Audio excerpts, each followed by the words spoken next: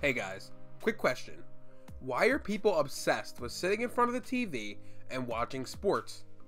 The short answer is the sense of belonging is unmatched. Take football for example. I'm a Philly based artist, so imagine the sense of community pride when our Eagles soared to victory in last year's Super Bowl. Well, it was non existent to me because I only follow basketball and our 76ers aren't doing shit. To many people, though, the sense of community can make them feel a part of something bigger. I want to welcome you all back to Monitor Comics, the place where we talk about creating comics and manga. In this episode, I want to go over the appeal of the sports genre and how you can take your love of sports and turn it into a compelling story.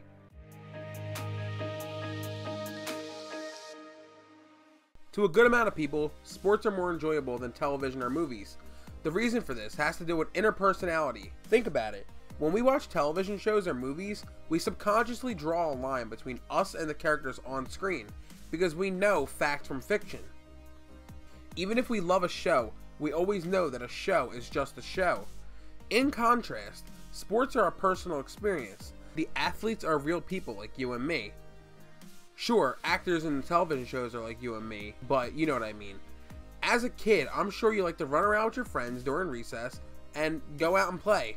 During this time, you might have played soccer or softball or whatever. Sigmund Freud would credit this childhood experience with society's deep interest in sports. Essentially, the idea of professional sports is surreal because it's just a glorified version of adults playing a children's game. For this reason, we feel a connection to the athletes we watch on television we want to support them because every one of us had the potential to end up in that spot had we taken that step in life. This fascination with the personal experience is amplified if you have actually played a sport growing up.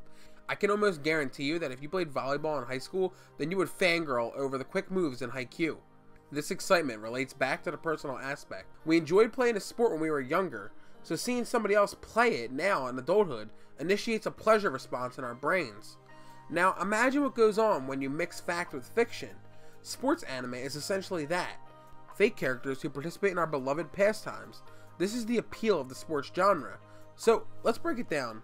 What makes a sports manga so addicting? The first tip for creating a successful sports manga has to do with your research. You have to know every nick and cranny of your sport topic if you want to write a story about it. Passionate fans and ex players will be able to tell if your depiction of the sport is inaccurate. However, the vice versa is also true. If you successfully portray the fundamentals of the rules and the gameplay to a certain sport, you will gain the approval of former athletes and new fans. By knowing your stuff, you'll be able to hook new readers who may be non athletes, and you will also be able to hook ex athletes to take an interest in your work. Let's take a look at some popular sports manga. Haikyuu, for example, since I mentioned it before. Haikyuu's very first page explains how volleyball is a game of height, and throughout the first chapter we are introduced to the gameplay mechanics of the sport and how athletes train for their matches. This is cool for the new casual viewer, because they're seeing a world they've never personally experienced. But this is twice as cool for the ex-athlete who loves the sport regardless and sees something they're passionate about animated or illustrated. This reassurance creates excitement and validation, if you can nail your fundamentals, then you can build your actual plot around it. Since volleyball is a sport of height, it's interesting that the main character is someone who is significantly shorter for a player. This underdog character creates sympathy from every kind of reader because casual viewers and ex athletes alike know that a short person will have a hard time competing in a sport like volleyball. The next tip for writing a sports manga is generating excitement. Battle manga have superpowers, sports manga has special moves. While it's all nice and dandy to know your fundamentals of how a sport should be played, the artwork has to stand out if you want to succeed.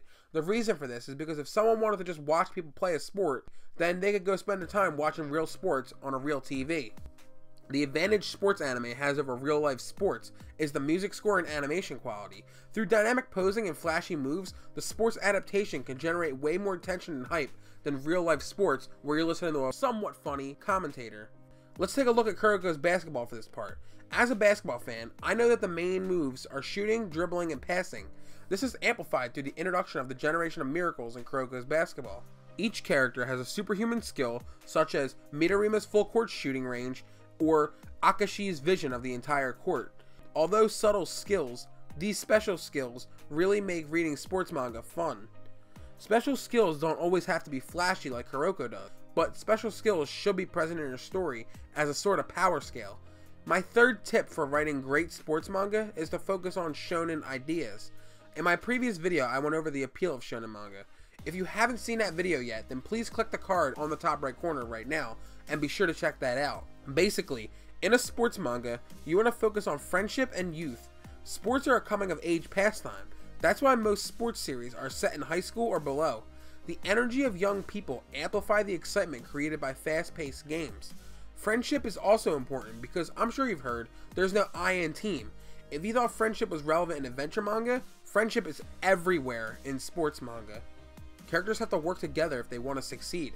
This creates opportunity for character arcs and character chemistry. The team acts as a unit and requires everyone if they want to succeed. My next tip is towards plot progression. Most sports manga follow the power creep formula.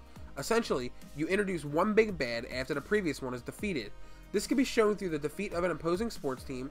You can also take advantage of a tournament arc and a training arc to develop new special skills or increase team compatibility. While it's cool to see your main characters win, remember, winning isn't everything. In fact, we sometimes learn more from failure. For this very reason, don't be afraid to throw your characters a curveball every once in a while to remind them that they aren't unstoppable. Typically, longer running sports manga are seen as repetitive, with no real development taking place.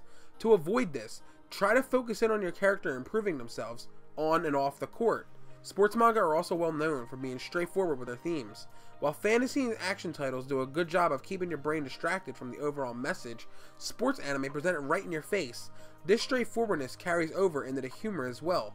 Comedy specific manga are always a hit or miss because something funny in Japan may not translate well to wherever you're from.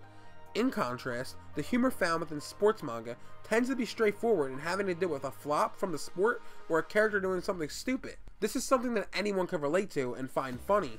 So remember, sports manga make non-sports fans hype. They also make avid sports fans hype. Sports manga have a knack for appealing to a wide demographic. Hence, this is why they're so successful in both the East and the West. Well, that's going to do it for this video. If you found any value in this video, please drop this video a like. Please hit that subscribe button and like the video so you don't miss out on any more of my juicy content. Be sure to check out my previous videos so you can learn all about the juicy secrets in manga making. Like always, you can find the links to all of my social media accounts down in the description below. If you guys could share this video around, you'd really be helping me and the channel out. Please drop a comment down below on what you'd like to see next. Thank you so much for watching this video, and I'll see you all in the next one.